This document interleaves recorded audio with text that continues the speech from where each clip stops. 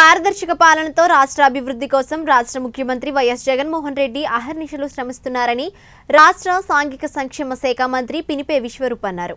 ప్రజా సంకల్ప యాత్ర చేపట్టి మూడేళ్ళు అయిన సందర్భాన్ని పురస్కరించుకొని అల్లవరం మండలంలోని గూడివాడి చింత నుంచి అల్లవరం పొలం వరకు వందలాది కార్యకర్తలు నాయకులు అభిమానుల సారథ్యంలో శుక్రవారం అమలాపురం ఎంపీ చింతా అనురాధతో కలిసి విశ్వరూప్ పాదయాత్ర చేశారు.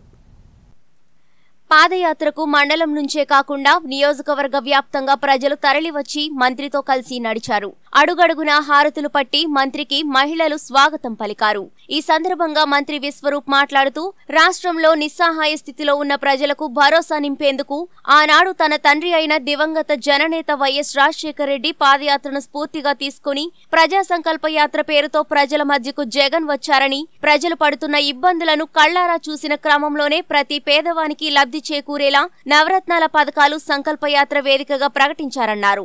ఎంపీ చింత అనురాధ మాట్లాడుతూ ముఖ్యమంత్రి వైఎస్ జగన్మోహన్ రెడ్డి దూరదృష్టి కృతనిశ్చయంతోనే దేశంలో ఏ రాష్ట్రంలో అమలు కాని సంక్షేమ పథకాలు మన రాష్ట్రంలో అమలవుతున్నాయన్నారు. రాష్ట్రంలో ప్రతి కుటుంబానికి ప్రభుత్వపరమైన లబ్ధిని చేకూర్చిన ప్రభుత్వం కేవలం ఒక్క వైసీపీ ప్రభుత్వమేనన్నారు. ఈ కార్యక్రమంలో వైసీపీ మండల కన్వీనర్ కొనుకు బాపూజీ నాయకులు ఇళ్ళ శేషారావు గుంటూరి బాలరాజు వంటెద్దు వెంకన్నాయుడు తదితరులు పాల్గొన్నారు.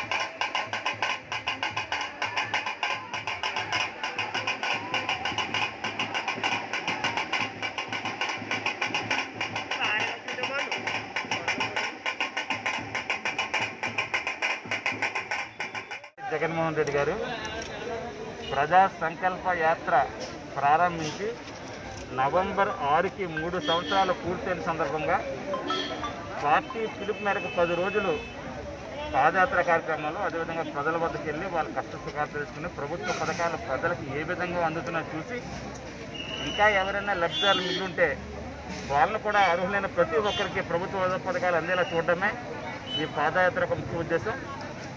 ఈరోజు అల్లవరం మండలం గుడ్డువాని చింత వద్ద నుంచి ఈరోజు అల్లవరపాడు వరకు ఈరోజు పాదయాత్ర జరిగింది. పాదయాత్రలో వేలాది మంది స్వచ్ఛందంగా పాల్గొన్నారు. ప్రభుత్వ పథకాలు తీసుకున్న ప్రతి మహిళ కూడా ఈరోజు రోడ్డెక్కి జగన్మోహన్ రెడ్డి గారి నాయకత్వం కోరుకుంటున్నారు.